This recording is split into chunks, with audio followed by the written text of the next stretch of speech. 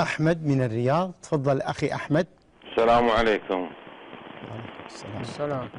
آه لو سمحت شيخ بستفسر الله يعافيك. عن شخص أخذ من والده قبل وفاته مبلغ وقال له أبي أنمي المبلغ هذا بحيث أني أي مكسب يجي أخذ جزء وأعطيك أنا الباقي.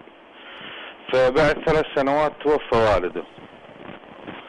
وأخذ المبلغ هذا وعنده أخوان. وأخذ المبلغ ووضعه له في البنك في حسابه في البنك. ونمى المبلغ هذا وأصبح ملايين. وأنكر على أخوانه أن ما لهم عنده شيء وأن والده ما أعطاه شيء. فالآن يا شيخ كيف العمل حتى يوصلون لإثبات حقهم مثلا ويأخذونه منها؟ الله يجزاك خير ويرحم والديك إن شاء الله.